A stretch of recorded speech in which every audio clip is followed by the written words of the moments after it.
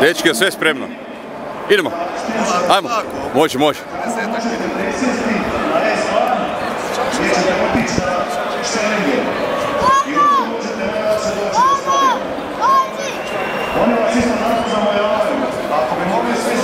Ekipa samo hrabro, svaka čast.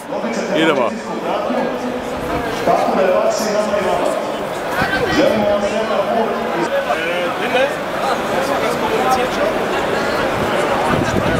Trebaju, čuješ, a žene najbolje odmotavaju, treba žene uzeti za tu. Znači misliš da je to najbolja taktika, a? Tako Marija. Evo vidiš. Sad ćemo Mariju pitat, evo. A samo malo, jel teško odmotavat zastavu? Nije lako. Nije, a? Da, da, a ima sad tu još ono i... Ima i metara, ima i metara, da, da. Budete zdržali, bude. Mislim da bude. Evo, pomogli smo se. Ajde, ajde. E, ništa sretno, ajde. Da, bok.